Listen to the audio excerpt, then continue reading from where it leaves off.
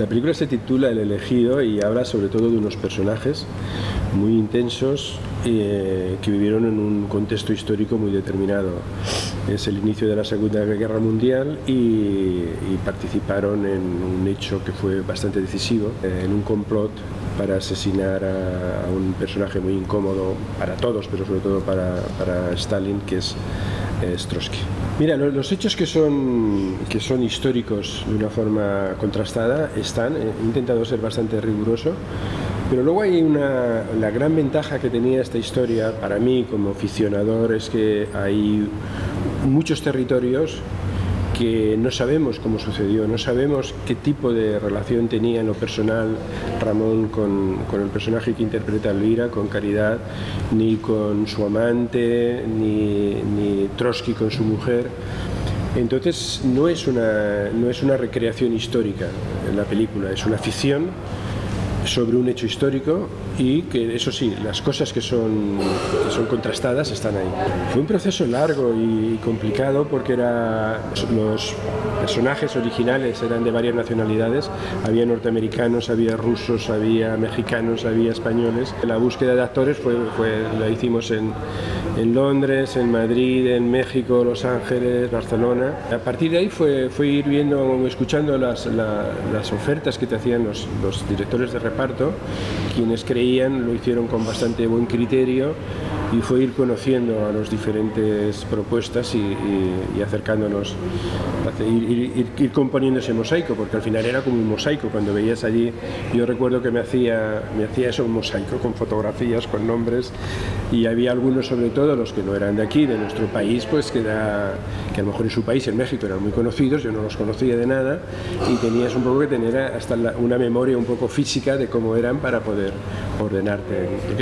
la película es muy coral, hay muchos personajes. El personaje que yo interpreto es Caridad Mercader, que es la, madre de Ramón Mercader, el, que llevó a cabo el, el, asesinato de Trotsky. Ha sido un trabajo fascinante porque, hombre, siempre cuando, cuando eh, tienes la posibilidad de interpretar a un personaje histórico, parece que hay un, un grado de responsabilidad mayor. ¿no? En el caso de Caridad, la sensación que yo he tenido es que era eso, pero por partida doble. Caridad es un personaje enorme, es un personaje complejísimo que, yo con Antonio muchas veces bromeo con, siempre con lo mismo, ¿no? Eh, pues se podría hacer una película sobre ella, una serie y todo lo que fuera, sobre la vida de ella y sobre, sobre todo.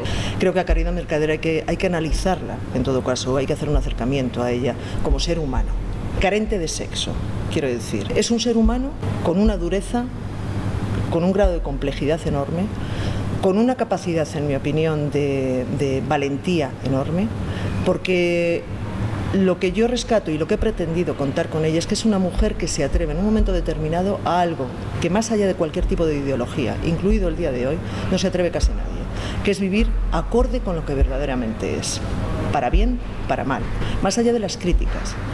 Yo no he tratado a Caridad Mercader como una comunista. De igual manera no la hubiera tratado como una, como una nazi. He tratado a Caridad Mercader a una mujer que está por encima de ideologías y de pensamientos y de, o de crítica social. He querido contar una Caridad Mercader que es eh, consecuente con lo que siente y que es capaz de llevarlo a cabo por encima, eh, por encima de todo incluida su propia familia, incluidas sus propias eh, emociones, incluidos sus propios vínculos. Eso es lo que me interesaba y eso está más allá de las ideologías. Eso es lo que yo he pretendido. Yo creo que es más de aquella época. En aquella época sí que eh, no estar en no estar a favor era estar en contra y, eh, y pasabas a ser enemigo más en ese momento concreto en, la Unión Soviética que, la, que estaba viviendo los, los años más duros del estalinismo, de las purgas, ¿no? Entonces sí que es un dilema, es un dilema que se, que se planteaban constantemente. O sea, tú podías tener dudas, pero sabías que en el momento que las expresases, también lo dice uno de los personajes en la película, ten cuidado con quien hablas porque enseguida te van a considerar un enemigo, ¿no? Era, era un dilema. Ahora, ahora yo creo que no. Ahora, ahora es todo lo contrario. Ahora en, nuestra, en, nuestra, en, nuestro entorno cultural, no, hablo ya de otros lugares del mundo. Aquí ahora es que el chaqueteo, el estar en un sitio y en otro, el cambio de programas, la falta de compromiso, es la realidad Ahora hemos pasado un poco al otro extremo. Entonces la gente se creía que el mundo se iba a cambiar, o sea, y de hecho se estaba cambiando, o sea, se producía la revolución rusa y había un cambio, un cambio brutal. Ya no entro si es bien o mal, pero había un cambio brutal, no digamos con el nazismo o los fascismos. Ahora hay un poco la sensación que gane quien gane las elecciones va a ser un poco todo igual. O sea, yo creo que en este sentido sí que son dos realidades muy diferentes, políticas, sociales, la, de aquella época a la que estamos viviendo ahora. Sí, sí, es cualquier cualquier emplazamiento de cámara, ya al ser histórica, ya, ya lo complica todo. Empezando por los departamentos de vestuario, localizaciones, el derecho, arte, el capítulo de arte era muy importante en esta película, peluquería, o sea, todo, todo se hace más, todo se hace más, más complejo, incluso por el sonido tú ruedas una película contemporánea y si hay un sonido de coches lejano no pasa nada. Si es una película de época. Se fastidió. se fastidió. Hoy es un coche y ya no sirve aquella toma. Si es un sonido directo. Yo hubo muchos días que quedé muy que quedé contento, que quedaba muy satisfecho. De hecho, era un rodaje que al menos para mí en este sentido cumplíamos bastante los objetivos, la relación con el equipo, tanto con los actores como con los técnicos, pues era, había, estaba muy ajustada. ¿no? Así un día que fuese excepcionalmente bueno, no sé, igual es más fácil acordarme del malo, del malo que, que somos. ¿eh? Sí, somos así. Tengo un recuerdo buenísimo de todo ¿sabes? No, pero no algo como, ay, hubo un día, ¿qué tal? ¿no? También eso significaría que habría muchos días que menos. En cómputo, en cómputo global yo tengo como una impresión muy buena. Para mí ha sido muy enriquecedor poder trabajar con, con un equipo internacional, muy más allá de trabajar con, con el jefe muy enriquecedor el poder estar con actores de otras nacionalidades, porque indudablemente son, son ocasiones en las que ves pues eso, cómo se trabaja en otros sitios, técnicamente, cómo se manejan, y me parece que son, bueno, es una experiencia enorme, y para mí muy grato, muy grato, y al mismo tiempo muy... Una lección muy buena es que muchas veces nos salimos creyendo que somos la sota de bastos aquí, llegas allí y te dan sopas con ondas. ¿no? ¿Público? Si una película la haces para que la vea la gente y, si va a verla, pues siempre es una gran satisfacción, ¿no? De que tu película eh, no solamente la has hecho y estás contento con ella, sino que además a la gente también le gusta y va a verla.